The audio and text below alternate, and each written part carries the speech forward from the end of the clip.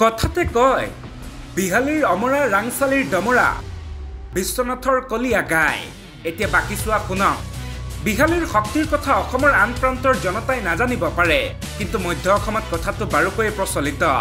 বিহালীৰে অন্তৰ্গত ৰাংচালিৰ কথাও ফকৰা যোজনাৰ জৰিয়তে স্থানীয় লোকে প্ৰায় ব্যাখ্যা কৰে।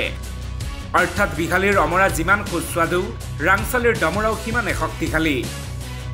কিন্তু যোৰহাটত অপৰাজিত হৈ থাকিলেও অমৰাৰ বাবে প্ৰখ্যাত বিহালীতে ফাণ্ডত পৰিবলৈ ধৰিছে গৌৰৱ গগৈ।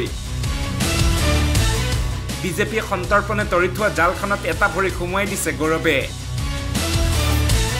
দলীয় দায়িত্ব অনুসৰি গৌৰৱে কিছুদিনৰ পৰা বিহালীত প্ৰচাৰ চলাই আছিল। কিন্তু সৰ্বশেষত বিহালীৰ প্ৰাৰ্থী বাছনি কেন্দ্ৰ কৰি যি সংঘাতৰ সৃষ্টি হৈছে সেই সন্মিলিত বিৰোধী বনাম কংগ্ৰেছ হৈ থকা নাই।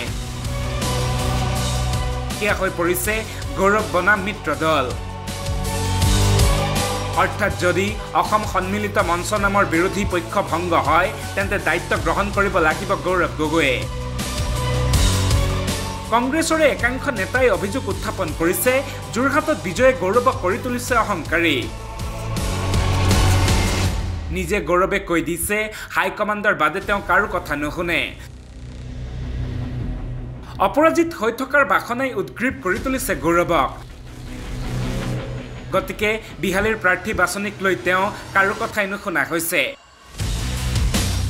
ৰাজীৱ ভৱনে এতিয়া সেয়ে বিচাৰিছে গৌৰৱে এসেকা পাওক নিউজ ডেস্ক ৰিপৰ্ট বাৰ্তায়নী।